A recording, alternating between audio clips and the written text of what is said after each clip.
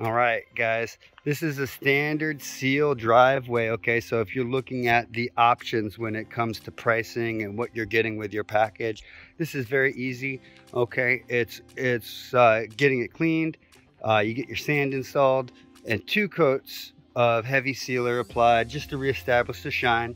Uh, standard seal is also available. You can skip the sand and get three coats of sealer, same price really helps just to maintain these areas when they're looking pretty good and just a little dingy, not as shiny as they used to be. Maybe they're dull. And we can just reestablish that protection and shine.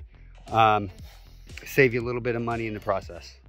All right, guys, so we just finished up with the standard seal service. Okay, that comes with um, two coats of sealer in the sand, or you can skip the sand and get three coats of sealer. Of course, we clean everything first. Uh, it's a great option for well-maintained uh, pavers. Okay, so if your pavers look like they're in great shape and you just want to spruce it up and shine them up, this is a really affordable option to get your project taken care of.